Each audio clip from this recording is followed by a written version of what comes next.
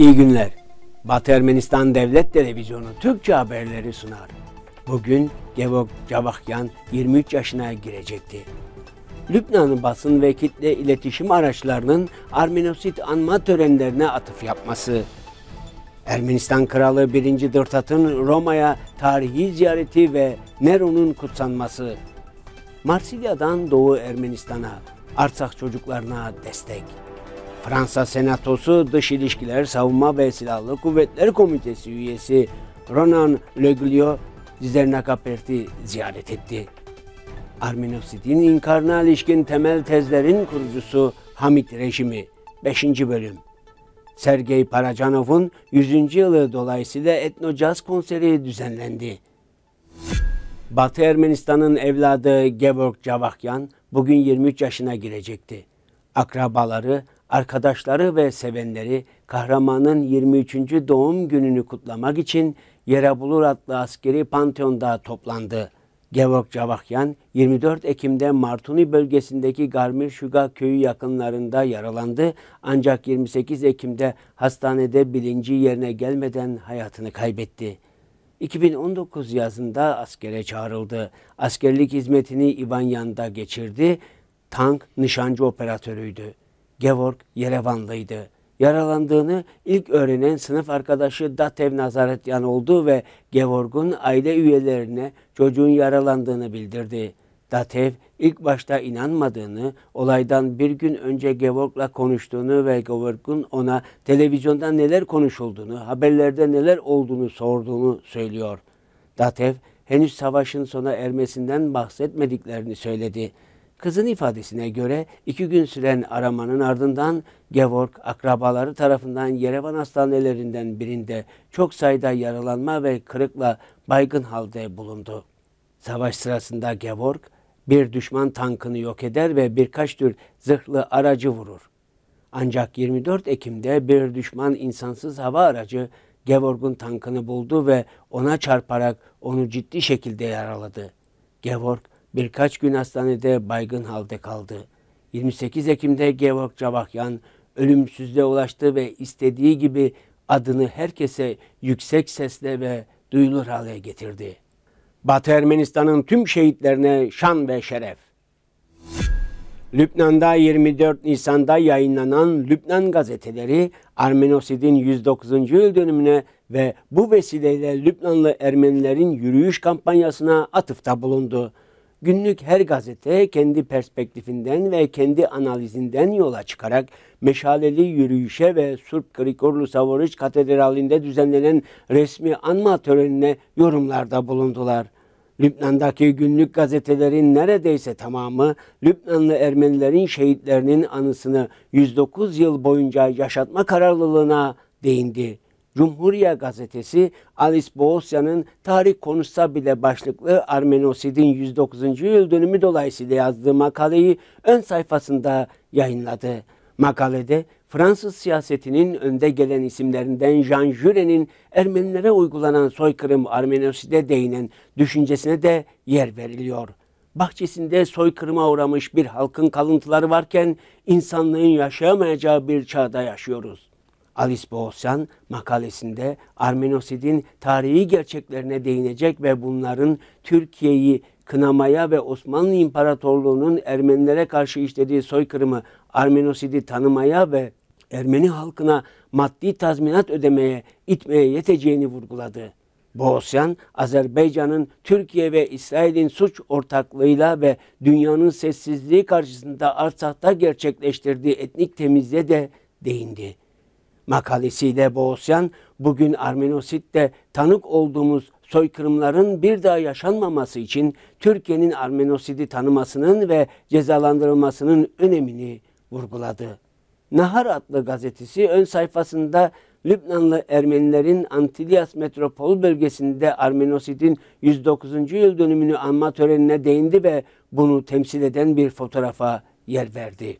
Nahar editörlüğü 3 Ermeni siyasi partisinin Antilyas'ta Kilikya Katolikos'u birinci aramın himayesinde Armenosidi anma töreninin yapıldığını memnuniyetle ifade ettiler. Antik tarih kayıtlarında çok az olay, Büyük Ermenistan Kralı 1. Dırtat'ın milattan sonra 66'da Roma'yı ziyareti kadar canlı bir şekilde hayal gücünü yakalar.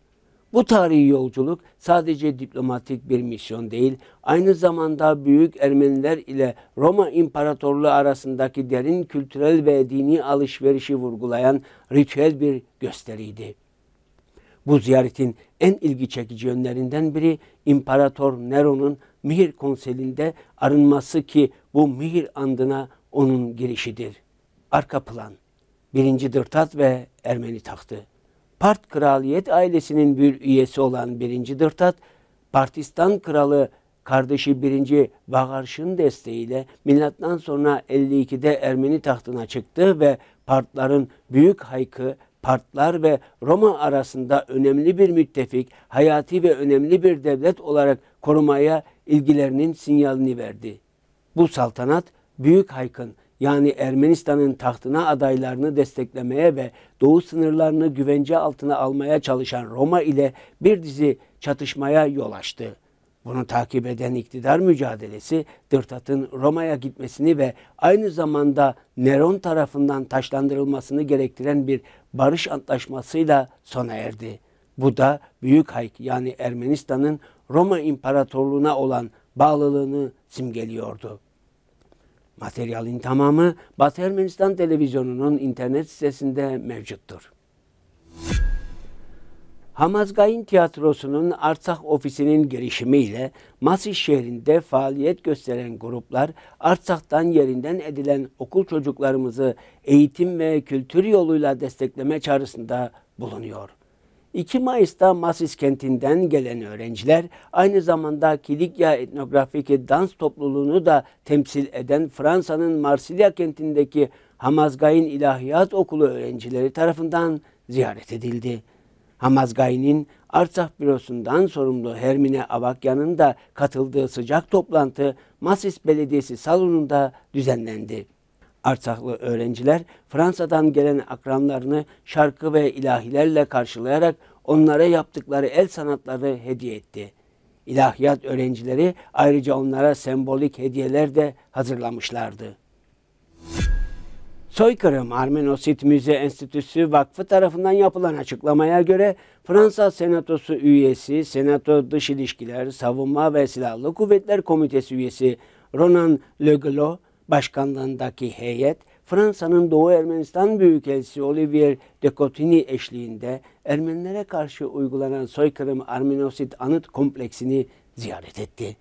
Kaynağa göre konuklar Zidernakapert adlı anıt kompleksinde Ermenilere karşı uygulanan soykırım Armenosit Müze Enstitü Müdür Yardımcısı Lusine Abrahamyan tarafından karşılandı. Abrahamyan konuklara soykırım Armenosit anıtının yapılış hikayesini sunarak Ermenilere karşı uygulanan soykırım Armenosit anıtına kadar eşlik etti. Müdür yardımcısı ayrıca geçen yüzyılın sonlarında Azerbaycan hükümetinin Sumgayit Ganzak ve Bakü'de düzenlediği katliamlarda ölen Ermenilerin anısına dikilen üç haçkarın ve Artsakh Savaşı sırasında anıt duvarının önünde defnedilen özgürlük savaşçılarının hikayelerine de değinerek yaşananlarla Armenosit arasındaki bağlantıya vurgu yaptı.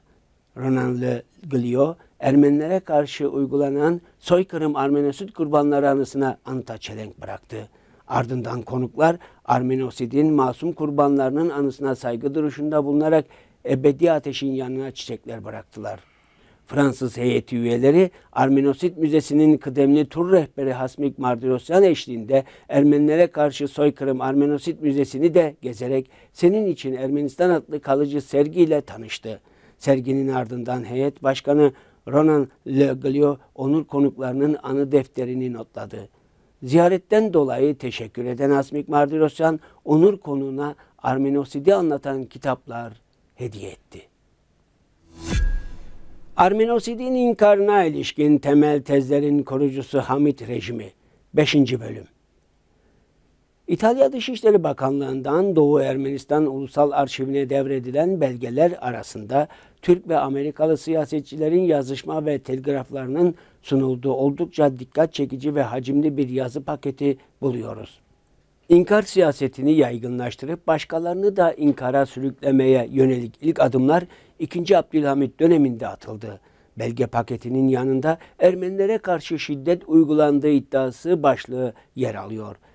Belgelerde aynı anda birden fazla inkar şekli ve yöntemi bulunmaktadır. Önce Ermeniler şiddet ve ayaklanma düzenlemekle suçlanıyor. Ardından suç grupları gerçek mağdurlar olarak sunuluyor. Üstelik Türk makamları sorumluluktan kaçınmak ve tarafsız bir soruşturma yürütmek amacıyla tarafsız bir taraf olarak Amerika Birleşik Devletleri Başkanı'na temsilcilerini soruşturmaya katmak için Türk Komisyonu ile birlikte sözde şiddet alanlarına gönderilmesini teklif ediyor. 1893-1897 Amerika Birleşik Devletleri'nin Osmanlı İmparatorluğundaki tam yetkili temsilcisi Alexander Türrell, Dışişleri Bakanlığı'na yazdığı mektupta şunları belirtiyor. Amerikan gazetelerinde Sasun'daki Türklerin gerçekleştirdiği zulümlere ilişkin haberler sansasyonel ve abartılıdır. Cinayet silahlı Ermeniler ile Türk askerleri arasındaki çatışma sırasında meydana geldi. Sadrazam isyanın bastırılması gerektiğini, 50'ye yakın Türk'ün öldürüldüğünü söylüyor. Çatışma sonrasında 300 ile 400 arasında silah toplandı ve bir o kadar Ermeninin de öldürüldüğü bildirildi. Ben onun beyanına inanıyorum. Dahası aynı temsilci Dışişleri Bakanlığı'nın cevabını beklemeden iki gün sonra 30 Kasım 1894'te Dışişleri Bakanlığı'na bir başka mektup telgraf göndererek şunları söyledi.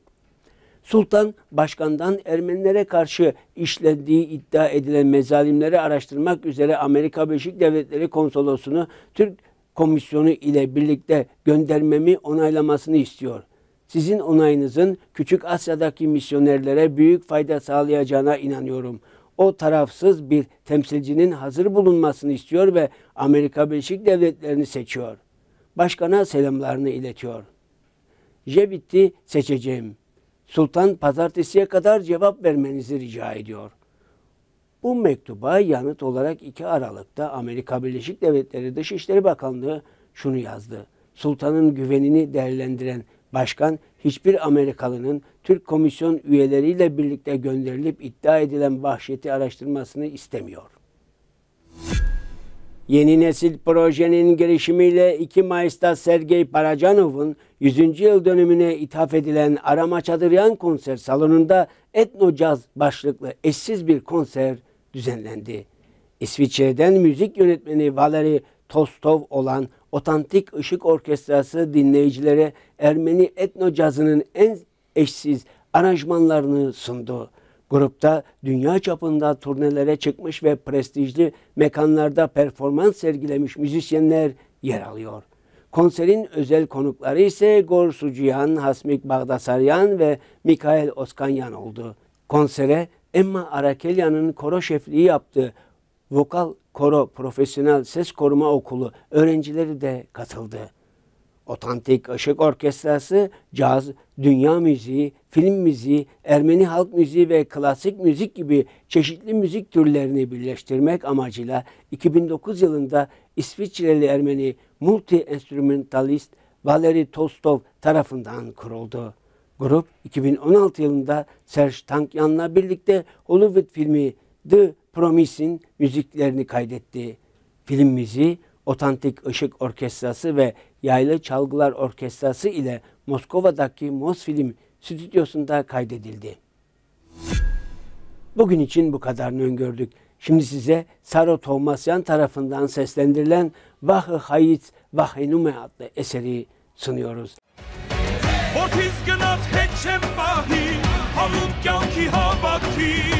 Քեզ հետ վերջու որպես վահան Օրնությունը մայրերի Գնա ճարտի չար թշնամու Ոձը սուր պետուրը ծուր Մոխնի մող չազգին ավոլքը Հիկուքիտ կանգնաս ամբուր Վախը հայից վախենում է Նահանջում է մեր հողից Վախը հայ չէ վախ